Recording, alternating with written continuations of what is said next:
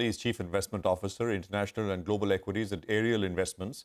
We also have Ed Yardeni, President at Yardeni Research, joining in now uh, to take some questions. Uh, uh, good, good, to have uh, both of you here. Thanks very much uh, for your time. Rupal, if I can uh, start by asking you two questions. One, the announcement of the U.S. government to step in to protect depositors, will is that enough? Will we see more in terms of contagion spillover, or is this now contained? And second, will this force the Fed to back off from their rate hiking program? Go on. Uh, so, first, I think the contagion certainly has been contained, uh, but I think regulations will increase on the regional banks. One of the exceptional attributes of the US banking system is that the regional banks did not have to adopt Basel III. While European banks and most international banks have adopted Basel III, which requires them to have a net stable funding ratio. That was a crux of the issue that Signature Bank and SVB faced, and that's why they had to be bailed out. So I think the contagion has been contained with the announcement of the depositor uh, backstop uh, that we all just heard about. That said, don't forget equity investors got wiped out and bondholders are going to take some losses. So there will be some fallout on the markets and risk assets will get repriced as they should. Okay, to your question on whether the Fed is going to pause sure. uh, based on this development, I don't think so. I think inflation uh, and the economy are more their concerns.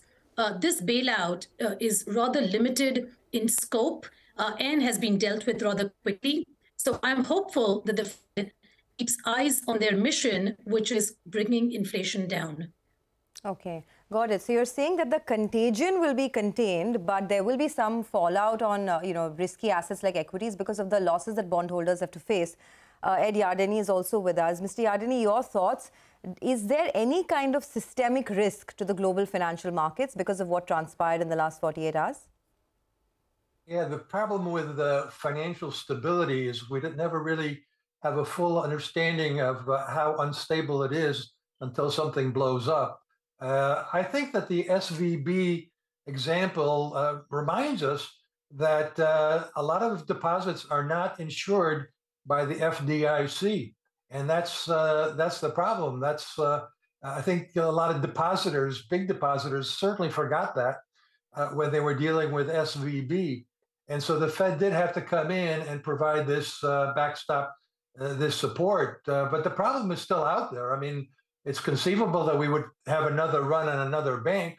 But I think to the extent that the Fed and the FDIC just managed uh, to provide this uh, backstop, I think there's now an implicit uh, perception that any other big bank that has this problem uh, will be bailed out after they fire the management and after they wipe out the uh, investors. So they, things have changed, but uh, I agree that the regulatory environment in and the regional banks needs to be tightened up. Okay, got that. Uh, the thing is, we keep getting new terms every time there's a new crisis or a new failure. This time we have what's called a new bank term funding program, uh, which is sort of uh, it's supposed to provide immediate liquidity to any institution affected by these bailouts. So we, the technical terms, we just don't know. right now, we're being told that taxpayer dollars are not being used for this. But, but Mr. Yardeni, I think the market will have uh, the central question on its mind that does it end with Signature Bank and with SVB, or could there be more? Uh, what's your sense? Certainly could be more, and that'll be the, the concern.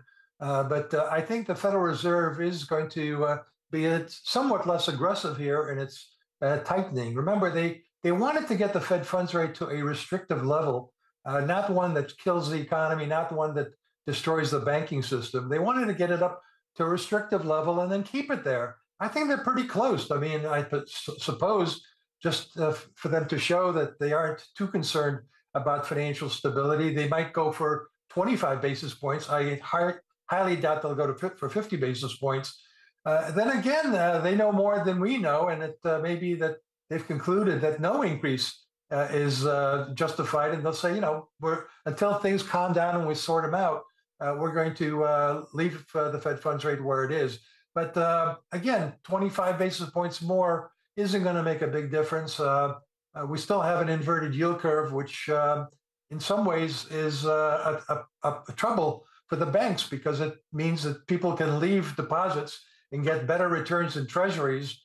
And once people figure that out, uh, if you have more of them doing it, it could really be a real problem for the banks and Fed. Fed knows that. Uh, you know, by the way, in the last five minutes or six minutes, the dollar index has sold off aggressively. I mean, uh, you rarely see, uh, you know, a broader dollar gauge move like this, but it is. If we, I don't know if we can pull this up, pull, put this up. Uh, uh, we were at when we started, right? I mean, we were at about 104.3, 104.4. Mm-hmm. Still there. Maybe we can refresh it. Uh, what I'm seeing is about 103.89 in the last five or 10 minutes or so of trade. Will reflect that but this is a large reaction coming through. Uh, Rupal, uh, and this may have to do with the fact that, of course, I mean, uh, the policy measures which we heard, but uh, uh, Goldman Sachs, right, one of the biggest uh, investment banks, saying that they've removed their call for a 25 basis point hike on the 22nd of March. They say the Fed won't do it. so I don't know if you if you want to react. You've already said you don't think it'll get the Fed off the inflation fighting track, but maybe for the next meeting, uh, they may back off. Possible? Sure. Look, but I think that's a very short-term uh, sort of point of view. Uh, because mm. ultimately markets discount you know the long-term future not just a couple of weeks or months ahead uh, and i think the, the thing to watch out for is you know are rates in positive territory or mm. are real rates in negative territory we are still squarely in negative territory so either inflation comes down or rates continue to go up that's the hmm. challenge. So I think it's much more to do with what is going to happen to inflation, not what's going to happen to SVB Bank or Signature Bank or uh, you know other sort of asset classes and moves, including the currency. It's it's really our take and view on inflation. Uh, and frankly, hmm. living in the U.S. Uh, and I understand it's anecdotal, uh, but nonetheless, uh, it does not feel like inflation is coming off a boil. And I think that's problematic for markets. They have viewed the glass as half full I would argue it could well be half empty, which is that rates stay higher for longer, which is, in my opinion, the way Powell and other Fed board members are trying to broadcast their views, and the market refuses to listen. Uh, Rupal, I remember when you were here in Mumbai in our studio, right? We were having this chat about how it's perhaps not a good time to be in risky assets like equities this year, and it's just showing up through the course of the year. Uh, is that your stance even now that even if this situation gets resolved, of course now there is a backstop that has been provided for uh, depositors, etc. But who is to say that you know some more of these um, uh, some more of these situations don't arise through the course of the year? What do you do with risky assets like equities? Do you are you cautious now? Would you raise cash levels, especially uh, for emerging markets like India?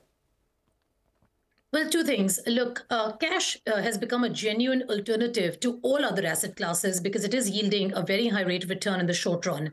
So I think TINA, which was there is no alternative, has turned into TIAN. There is an alternative now, and it's really called fixed income.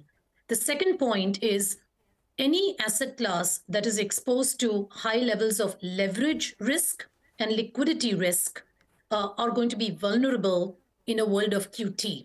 So I don't think we should rush for the exits from equity markets and put all the money under a mattress or, frankly, in a bank and, and get some interest on it. I think it's about curating your portfolio to be cash flow generative as opposed to cash burning. And the biggest way in which cash flows come back to shareholders is through dividends. So I recommended before, and I continue to believe that a high dividend yielding strategy uh, is the way to approach equity investing dividends have tended to account for half the total return of the long run stock market's performance, you know, that we all count on. In the last decade, it has predominantly come from capital appreciation. I think in the next decade, it's come from dividends. So it's about repositioning portfolios uh, with an eye towards defensiveness and dividends, not giving up. Okay, got that, Rupal. Uh, Mr. Yardeni, I remember in 2008, we spent many months debating uh, this whole decoupling theory. Now, we're nowhere close to 2008, and I hope we don't get there. Uh, but what is your sense? Till the US sorts itself out, whether it's the real economy or recession, rates, or some of these financial institutions, will money keep flowing to EMs? How, how would you look at a market like India, for instance, uh, against this backdrop? I, I think that uh, obviously there are global investors that uh, diversify around the world.